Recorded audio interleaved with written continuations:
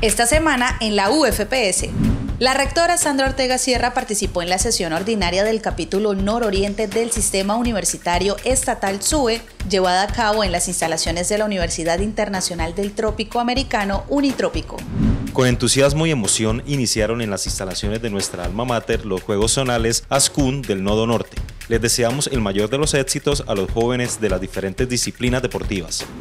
La UFPS se unió en una articulación interinstitucional con la Policía Nacional, la Defensoría del Pueblo y la Corporación SUCA para fortalecer los procesos de atención, detección y prevención de violencias basadas en género se llevaron a cabo las jornadas de actualización del CISBEN para la comunidad universitaria y externa. Esta iniciativa es un paso significativo hacia el fortalecimiento de la inclusión y el apoyo social dentro de la institución. En la UFPS, todos somos calidad.